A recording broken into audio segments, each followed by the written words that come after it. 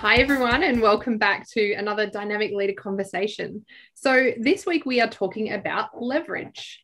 I guess that at its very roots, um, leadership is all about leverage and influencing others to deliver optimal outcomes for our business, um, along with remaining engaged and inspired in the work being done. Um, and so today I'm joined by Rob Pyne, who studied psychology at University College in London. Uh, he specializes in human judgment and decision making, uh, which is really exciting. Back in 1997, which by the way was the year I finished high school, um, he quit his PhD to move to Australia, where he joined the world of advertising, rising to become Chief Strategy Officer of a global agency before setting up his own firm um, in training called Realizer, and that was in 2013.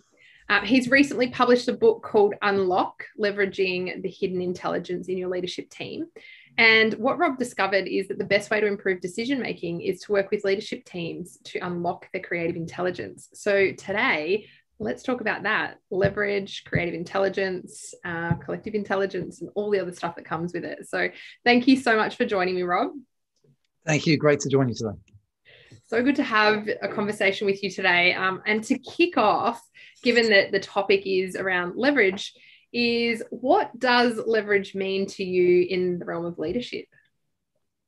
Well, so the subtitle of my book talks about leveraging the hidden intelligence in your leadership team. And for me, my mission really is, is, is to, to kind of help the world make better decisions through helping teams be more than the sum of their parts, right? So, so we have this view of leadership being a very solo occupation, like there are you know, there are 60,000 plus books on Amazon around leadership. And there's only four books on leadership teams. And I find that mm. crazy, right? So, so, so my view is the leverage word is around how can you be more than the sum of your parts and how can you surround yourself with people that together make better decisions and do great thinking and execute on great projects. So that's the key to leverage, in my view, is that collective leadership. And, uh, you know, in a leadership team, something that's probably well underutilized yeah, look, I mean, this is why I have a you know thriving business in this space is because leaders come up through the ranks and um, through their a lot of time their individual contributions. They're very successful and they lead a division or a functional area. And then you put them into an executive leadership team and the rules are different. The rules are different and they need to leave their ego at the door and they find that difficult. They find that difficult. So um, yeah, there's a lot of work to be done because you know a lot of leadership teams are are less or at least no more than the sum of their parts. And so when you work with leadership teams, are you looking at um, how do you um, align with how you are as a as part of a leadership team with how you are as a leader and you know the reason for my question is often i find that sometimes the behavior in executive meetings gets taken back to teams on the floor and it's not appropriate um, and so, is there alignment or is there, you know, what needs to be done in that space? Because I think some leaders at that level don't do the transition very well. I treat them as overlapping circles, if you imagine a Venn diagram, where you, in, in a leadership team, you're actually being asked to step through the door. You, when you walk through the door, you're a leader. And when you step through the door and sit down, you actually need to balance being a leader and a follower. Mm. And that's difficult. You can't have it your way. It's not command and control. It's a little bit more democratic, and potentially, the, you know, if you're in the leadership team, only one of you is actually the leader of that team, and so by default, you've got to balance leadership and uh, and following. Whereas then, when you walk back out the door again, you do need to go a little bit back into being the leader of a team, and so those behaviors are different. Uh, but ideally, they've got their core, their core, core center of things like emotional intelligence and thinking about how other people are computing around the world, around listening, all those things, around how you bring out the intelligence of the people around you. Mm-hmm. So a lot of overlap, but uh, also I do treat them slightly differently. Mm, yeah, yeah, great. And I think um, you know sometimes it's the uh, I don't know, like if if someone in a in a leadership team meeting is doesn't feel heard or doesn't feel validated or feels like their ego does take a little bit of a hit, can often then take that back to their team and and reflect on them through that is what I've observed with with some leaders. Yeah, look, I was I was working with a client say, say last year, right, where um, there was a notion of the leader of this division wanted all the people in the leadership team to consider the leadership team as their A team. Right, this is your A team, implying that the the patch that you led with all the people that reported to you was your B team, and that just didn't work. That just didn't work, right? Because the people were spending all their, you know, ninety percent of the time with their functional team, not with the leadership team. And so the way we got around that was to balance that by saying, look, in both of those environments, you've got to bring your A game. And your A game is a little bit different in a leadership team as is to leading your functional team. Mm-hmm. But uh, I, I, really learned that. It was an interesting proposition of you can't force someone to treat the leadership team as their A team. Uh, and thereby demean the people they work with every day. So it's it's a balancing act, and that's why it's difficult. That's why people get paid a lot of money to be on leadership teams to make decisions and work in teams because it's difficult you know just on that note it's it just really highlights that language and even the casual term or use of um, words can have such a big impact on how people show up and how leaders do respond to the that concept of a versus b.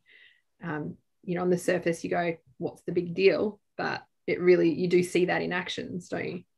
Oh, look, and the underlying that is this this huge area of potential for leadership teams, which is actually a line on why does this team exist and who does it serve and how are we going to behave. Those are actually the first things I work on, right? And so I love your point around language and the, you know the mental models we hold. Mm. Very different, especially if it's the first time in a leadership team. Mm you don't realize that different things are expected of you. You've got to think about a holistic whole of business approach, not just come in and represent your patch and fight for resources with other people. And that transition to the whole of business approach might be the first time that you've had to work with people who, let's say, um, I'm the marketing director, right? If I've just been promoted to marketing director role and therefore I'm in the leadership team, Mm. Previously, all the people I worked with most of the day were all marketers with similar backgrounds and university degrees. Suddenly, I'm in the leadership team having to talk to the finance person as an equal and the HR person. It's a different mindset, different people, different rules. So you're right. This is, you know, you kind of really got me going there on that point around language translates into the whole mental model that you have around what a leadership team is for. And that's the very first thing I'm going to work on is get people aligned on that. Is that where you talk about width versus depth? what I talk about width versus depth is actually in um, once you've kind of sorted out the emotional intelligence of your team and the relationships and the dynamics, and you've got alignment. That's the first step. I call the emotional intelligence of the team. Then I'm going to move on and work on the creative analytical intelligence of the team, what you might call the team's IQ. Mm. In that space, that's where I'm looking for you to go deeper to, to look at the root cause of problems and then go wider to look at more potential solutions, hear more voices and then actually go further to think about the knock-on consequences. So that, that area about deep and wide is more about the three dimensions of problems, their depth, their width, their length, and how you how you're going to navigate that as a group. But you could potentially apply that to the leadership team in that, you know, the width is my peers, the depth is my knowledge of my team, and then the um, what did you say? The the the length is like the, the thinking length. further ahead about the consequences. Yeah, the future direction. So yeah, I, I love that. Right. Can I borrow that? It's yours. I just think it's, you know, if you can get your, your head around that concept of um, width is how I interact with my leadership team, depth is what I bring from my own, and um, and further is or length is, you know, how where are we going together collectively? It it kind of makes sense that it would then align really nicely with when you talk about that specifically and, and with creativity. Do you know what you've just done there, right? So, so I've just written this down, and you make me think about the, the T-shaped executive, where we've got a depth in you know, speciality, and then we've got a breadth across the business, right?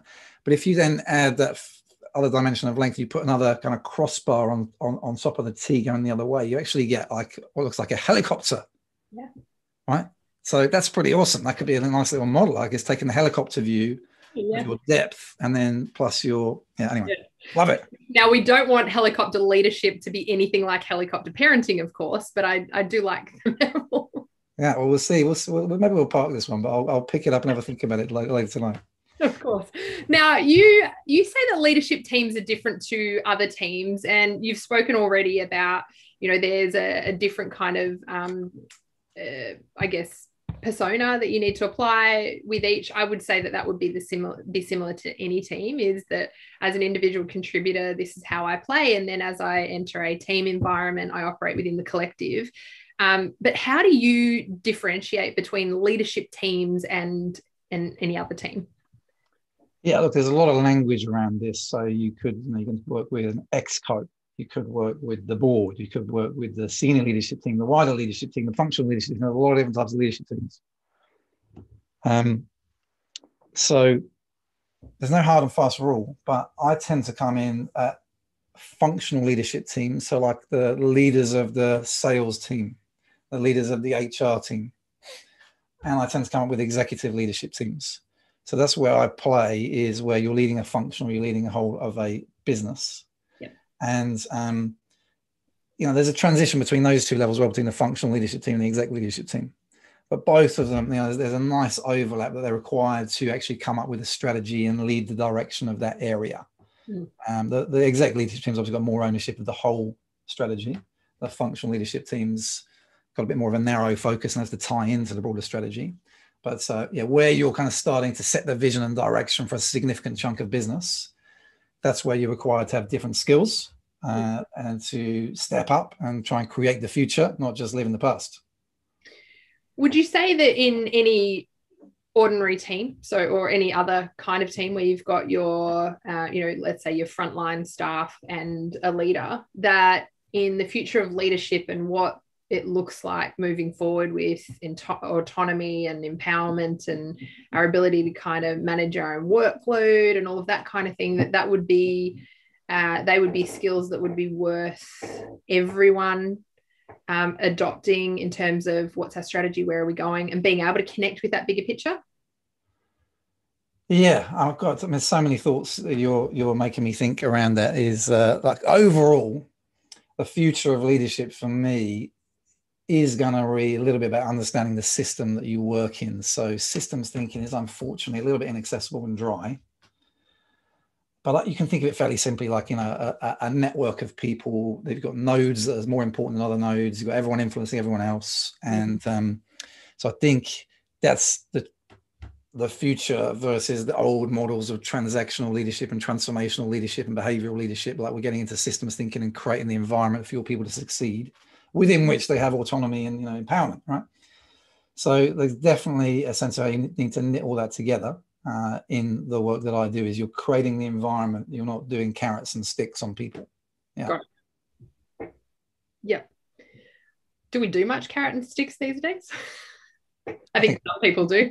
oh, gosh, I reflect on my parenting style, and uh, it's there's definitely too much carrot and stick going on and maybe not enough creating the right environment for them to succeed. So uh, you know, like a little bit of sideways jump there, but uh, yeah, we still because humans are you know cause and effect machines. We love to see the world as simple cause and effect. That's just the way we're wired, right? Psychologically. Yeah. So there's always going to be a desire to have a carrot and stick understanding of the world. Yeah, and for a lot of people that works really well is you know what's the consequence, and I think you've got to have the carrot and stick um, but yeah, it's a it's a whole lot more than that um, in today's environment. With... Yeah, but we got. I mean, you're right. We need to help the leaders navigate that because there is that tendency to simplify, yeah. and that's the trouble. Like, um, you know, a year ago, I was really trying to get into systems thinking, how to apply to leadership, and um, I think most people just do that for a few weeks and then give up because it's too complex, right? So we've got to bring some of that stuff back. And one one great example of a simple way to apply systems thinking to leadership is the business model canvas by Alex Osterwalder and his team is a way of representing your whole business in nine boxes. And it really simplifies how do those boxes work together from your ideal clients to your value proposition to your revenue streams and your costs and your partners you need. So that's the way I apply systems thinking into business strategy is by trying to really simplify it business into its component parts and then seeing how they affect each other mm. um, without getting too scientific. So so mm. bring some of the goodness of systems thinking without getting uh, without falling asleep and uh, losing the will to live. I want to touch. I want to come back to systems thinking um, in in a few moments, but um, I want to chat with you about the the power because I see power in leadership teams that doesn't necessarily exist with um, leaders and their teams. In that, um, the ability for leaders or the the potential that exists for leaders to learn from each other is huge. And yet we don't seem to do enough of that. When when i'm dealing with leaders i'm asking where are you going to your peers for support? Where are you going to them for development and experience opportunities? And there seems to be this ego, this pride, this fear of inferiority, or whatever it is that prevents leaders from reaching out to their peers. And I'm really curious about what your thoughts are around that. Look, I think I want to tell you a little story about that to bring it to life, right? And I, I, I love where you're going with it because peer support is one of the core functions of a leadership team, actually. So, you know, research from McKinsey shows that when an executive is in a good leadership team, they themselves operate up to 5x, you know, five times better in terms of delivering results, right? So we need to uh, we need to think about like how do we support each other, and I want to tell you a story about that. So, as you say, leadership teams really allow the time to properly connect with each other. So simple and yet so effective. So recently, I was up in Hunter Valley before lockdown, and we took a leadership team of a, a very large company up there. And all we did was we said, you know, on the first morning is it's time to give each other some feedback about how you, how you're going as individuals. And I have a model for that, which I mean, it's got a whole backstory to it, but it's, it's built on the acronym feedback is a gift. And the G stands for it's got to come from a genuine place of goodness and care for the other person. It's not your chance to get this off your chest, right? So imagine these um, 10 leaders that have been working together for a couple of years. And all we do is we send them out into the vines next to the place where and send them go for a walk in the vines, beautiful sunny day in April have a 10 minute chat to each other. First five minutes, person one, give feedback to person two on something that you think they, that, that would help them, and then flip it. And so I can just kind of stand on the on, on the steps of this venue, watching all these pairs of leaders walking in the vines, and just having the best conversations. Mm-hmm. And it mm-hmm. takes 10 minutes. And at the end of the two day event where you've done your strategy, you've talked about the team, they talk about, you know, that was just that 10 minute walk in the vines, or those series of 10 minutes walks in the vines was, was the best bit to connect as humans and support each other with that gift to feel cared for, that someone actually cares to give you a bit of feedback. And that, you know, like the, the backstory to that is some, some, some particularly bad example of a leadership team giving each other feedback six years ago, which really blew up.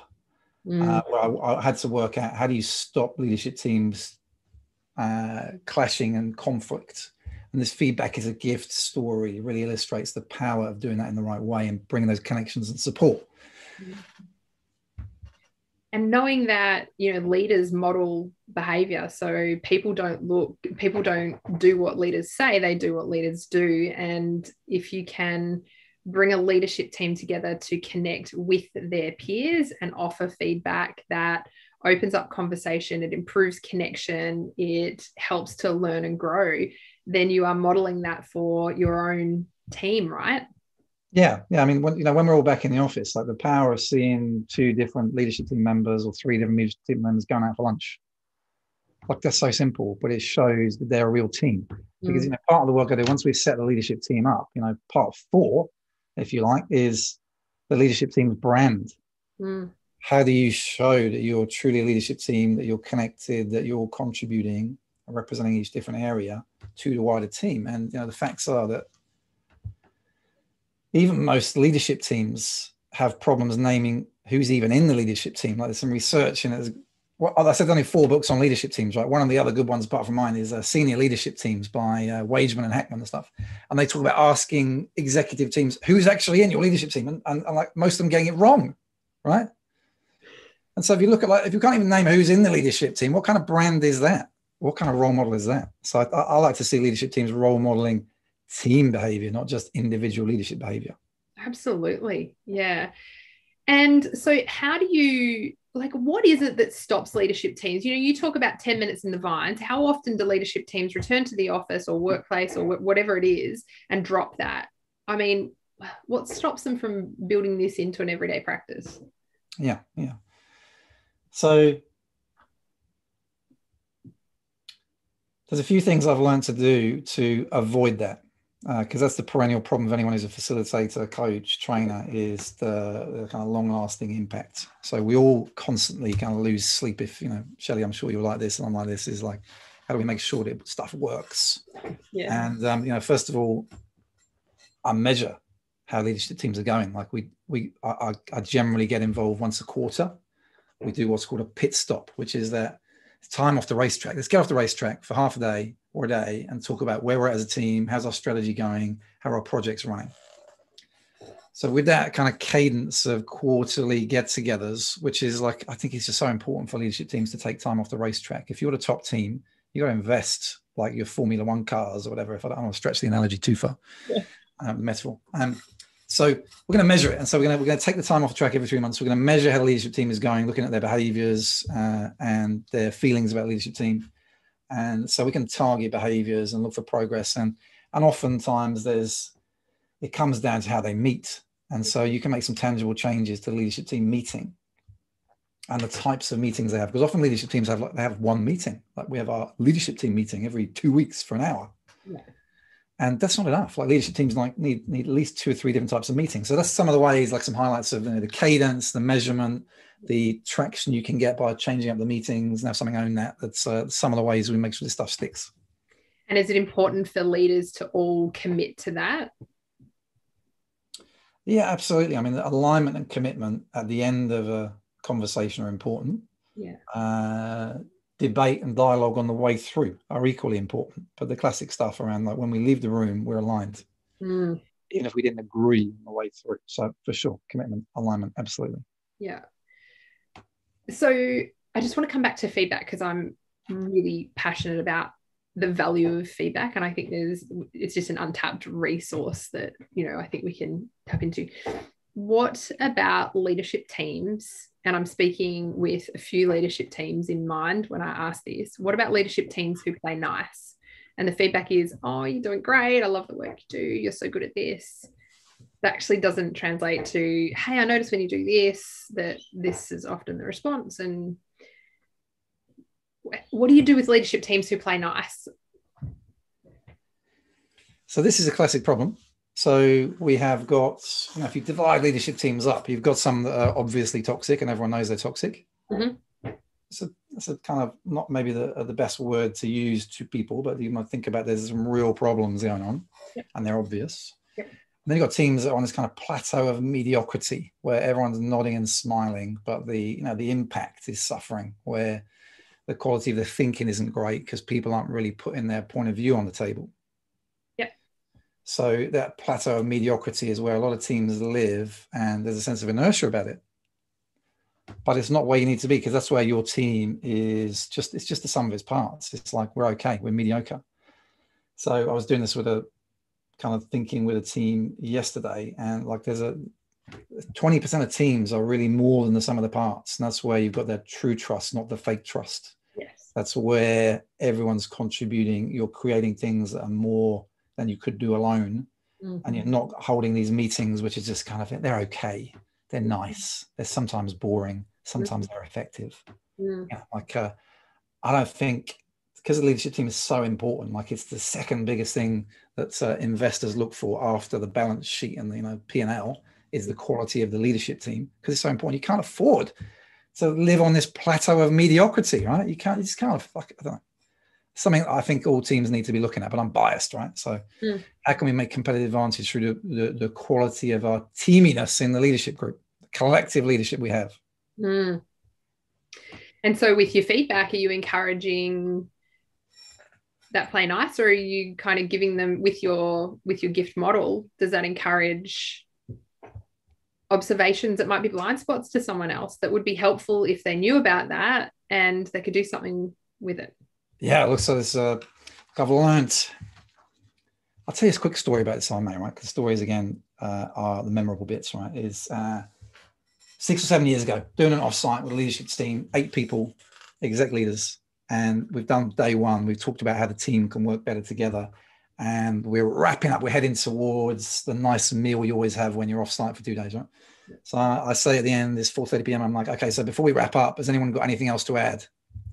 And someone I'm going to call Georgia pipes up and says, Yeah, actually, there is. I say, Okay, go for it. And she eyeballs Sean, the chief operating officer, and says, Sean, ever since you started around here, it's been like the Sean show. Oh, great. And what transpired over the next kind of hour was, you know, the meeting broke up in recriminations. People were phoning each other in their room saying, Are you okay? There were tears including from the COO, you know, and Georgia. And those two people, you know, actually never spoke to each other again. Whoa. So that was I, I have that real as a, like a line in the sand of my leadership facilitation career of the low point. and so that's what I was like. I had to go away from that. And go like, how do I stop that happening again? We've got to create the right environment for people to give useful feedback, and that's not the way to do it. You don't surprise someone. You don't launch a grenade over the table in front of the boss um, you don't store it up for months and then give it, you know, like it's just was bad, right? So a lot of research developed this gift model, which is the opposite of that. It's uh, it's genuine, it's invited, it's focused, it's timely, right? Mm. example. And so the way I apply it these days is you're right. We want to actually um, try and surface some blind spots in a helpful way. It's like here's like so the, the question I ask is, what is one thing you think be really helpful for them to know? Mm. And depending on how well the team know each other and where we're at in the day, I'll sometimes precede that with Marshall Goldsmith's exercise called feed forward, which is I'll say, go for a walk in the vines and you tell the other person something you want to get better at and get two ideas from them of what, how you could do that better in the future. So I've got much more control and it's more about the future. So that's a really easy way in feed forward. It's fantastic. We love it. And then you come with, okay, next we're going to do feedback, which mm. is more owned by the giver and can include reference to things you've done in the past. So we've got to ease into it. You've got to be incredibly careful with it, but um, tried and tested systems now to get people in the right mindset to do it. And a lot of that is around, and this term's used a lot, but that psychologically safe environment. Is it safe for me to share what my development areas are with you? And then is it safe for me to receive what you've got to give? Um, and that feeds into our emotional intelligence and our ability to actually read the situation, connect, adjust our language, um, deliver it in a way that resonates with the other person. Um, and you you talk about emotional intelligence. Is that are you thinking about that when when you talk about feedback? Yeah, absolutely, absolutely. Like uh, the interesting thing about emotional intelligence is that with individuals, like if I look at an individual leader, we can imagine a scenario where someone has high IQ but low EQ, or vice versa, right? They're potentially not that correlated with each other.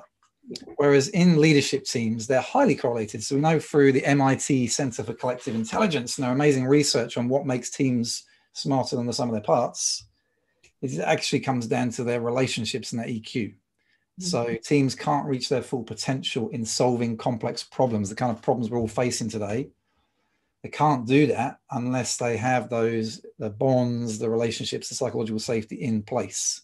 So I sometimes talk about the fact that you know the uh, the hidden intelligence in your team is actually in the gaps between people.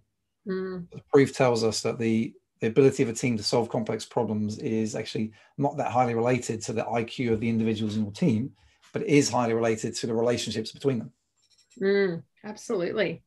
And so, from an EQ, emotional intelligence point of view. It's been something that has been spoken about for a couple of decades now. And yeah. you see it being more relevant today than it was a decade ago? Do you see that people are more interested in it, more open to? I, hear less of the the soft and fluffy stuff uh, now, but I do still wonder whether there are, are more people. I think there are more people on board with it now, but are you seeing that it's inevitable that we've all got to go down this emotional intelligence pathway? You know what that makes me think, Shay? That makes me think we need a little bit more critical analysis of emotional intelligence, right? Because we've all, I think, actually mostly accepted it. Everyone knows the phrase EQ and emotional intelligence. Uh, people know it's been around for 20 years. People accept the, uh, there's a reasonable amount of evidence that EQ powers your career success more than your IQ. Mm. if you look back at Daniel Goleman's book, etc. Um, but sometimes people question it and they say, well, actually, how do you measure it? Mm. And so uh, there, there's probably room for a little bit more rigor in the area on individual intelligence. Mm. Uh, and I focus on that. I measure the behaviors that based on the research. So I, I sometimes do individual leadership 360 reviews in my leadership programs. Mm-hmm. We'll measure the individual, the emotional intelligence through other people's perception of their behaviors.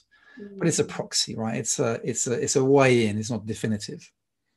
So my job is to kind of raise people's awareness about the kind of things evidence suggests works and then when it comes to the team interactions there's slightly different things you've got to look for in the dynamics between teams as well so so i think maybe we could all be you know kind of pile in on emotional intelligence i wouldn't mind if there's a bit of a debate around it rather than unquestioning acceptance of it as well And I find the that um, CEOs and exec teams that acknowledge that retention of top talent is a really big issue. It's a really big challenge in the workplace today.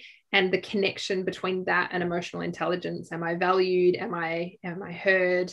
Um, do I am I com- communicated effectively and can I contribute? And all of those kind of things, which come a lot back to what I think is emotional intelligence, is that and I don't know whether this is the case, but I would imagine there would be a correlation between those who do say, yep, top talent is an issue and emotional intelligence is how we is part of how we go on this journey versus those who are ignorant to retention of top talent and people come and go and they explain it away for whatever reason the industry the environment it was their problem not mine. It's the younger generations or whatever it is that are still closed off to emotional intelligence.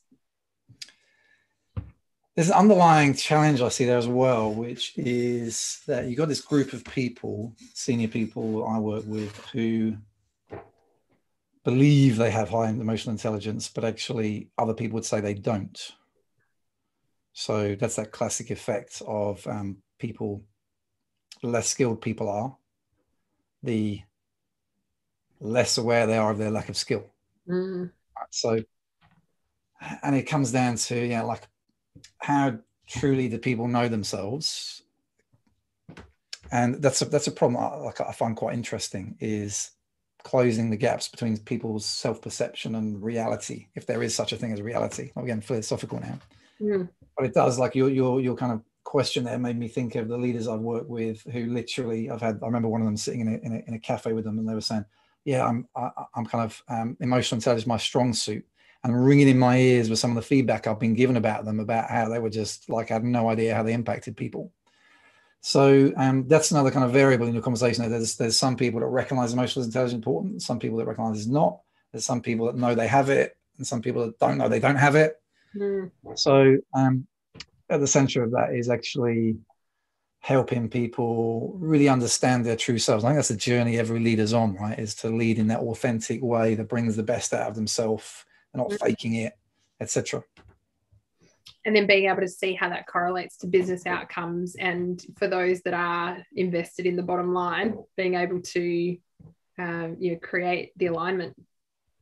Yeah, and I mean, one thing I observe about the leaders I work with in Australia, because I, I, mainly work in Australia, a little bit in the UK, a little bit in um, Asia, mm. a little bit in New Zealand, but uh, mainly Australia, is that most of the leaders I work with are pretty humble. So we don't have that high ego person who lacks EQ and is just all about them. Mm. And that might be because the type of people who got the high ego don't come to me for help with their leadership team because they're not humble enough to realize they need help. Yep. So I'm not saying this is a, a, scientific experiment here, but I do like to see leaders who think about their strengths and weaknesses. They think about their role in the leadership team. They don't take up an enormous amount of space. Mm. And, and, unfortunately, like uh, uh, there's with the passing of David Leckie, which happened uh, on July 20, a couple of days ago, who was a really famous kind of leader in the media space where I've done a lot of my work. Yeah. Uh, he, he was a leader kind of 20, 30 years, 10 years ago. And um, I think he took up a lot of space in the room. And he led in that very much command and control, shout at people way. And um, I've never met him. Uh, so I'm just going from the stories I've, I've read. But I wonder whether that leadership style still works, shouting at people, demeaning them, etc. Um, I mean, I think he was apparently drove incredible results, was an incredible man in many ways. So uh, it's just interesting to compare that compared to what we expect these days. I do see it being a bit of a diminishing skill set across the board, but some industries are still more predisposed to that than others. But it's good to see people kind of emerging from what I would say the dark ages of command and control and coming into the the light. And I think emotional intelligence plays a huge factor in that. Yeah, yeah, yeah. Look, potentially some people are so good they can do command and control mm. and do it really well. But for many of us, that's not going to work. Mm. And we actually need, like, we're not the perfect CEO or leader. So we actually need some help from those around us. And if we can do that, that's our way mm. to lead the company to great things.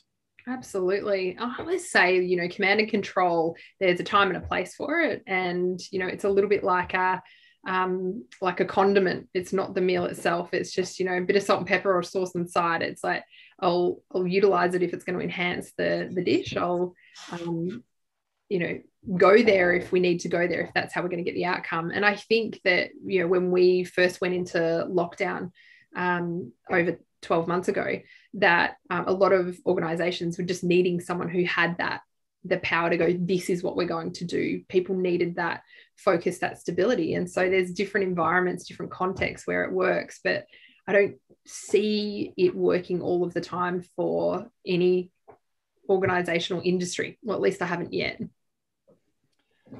I mean, you're talking about situational leadership and picking your battles and knowing when it's a democracy and when it's, um, and you know, autocracy, etc.